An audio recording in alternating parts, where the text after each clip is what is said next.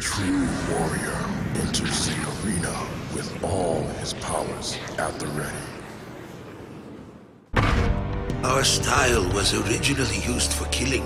The wish to become the strongest of all. You must never let such a desire rule you, or allow the Dark Hado into your fists. One possessed of an evil spirit will fight out of pride until his dying day, and most likely fight to kill. Just like Akuma, who took up the Dark Hado, and whose hands are dark with the blood of his own master, Goutetsu. I have come to tell you something about your future. Will you grasp the light or be swallowed by darkness? Kill me. If I'm possessed by the Dark Hado and can't break free, Ken, I want you to be the one to do it.